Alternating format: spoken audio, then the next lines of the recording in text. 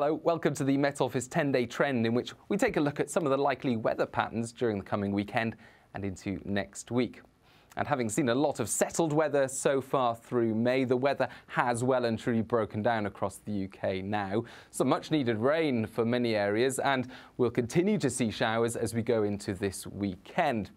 It will then turn humid once more by next Tuesday, with the risk of some heavy rain or even thunderstorms, before drier and brighter weather returns by the end of next week.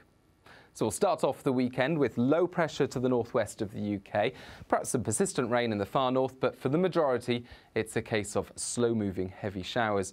Some of these with the risk of thunder, but they will be slow moving and away from the showers, some sunshine albeit with fresher temperatures than we've seen in the southeast, for example, during recent days.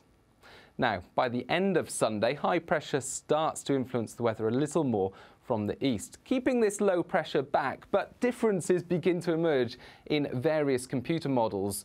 And these are some of the uh, products that we use as meteorologists. The Met Office computer model, for example, has low pressure dominating more across the UK as we start off next week, keeping things unsettled.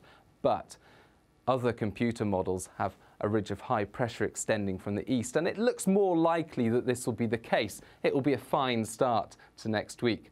However, this low pressure to the southwest will begin to move in, and that will turn things more humid as winds circulate around from the southwest. With that humidity comes the risk of some heavy rain or even thunderstorms moving north across the UK middle of the week.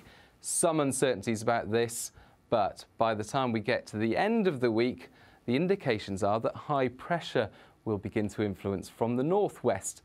And as that moves in, the weather settles down. So the broad trends as we go into next week are that it will be a fine start, turning humid again from Tuesday and Wednesday with some rain or even some thunderstorms, but drier once more from the north as we end the week with fresher air, some chilly nights, but some warm sunshine by day.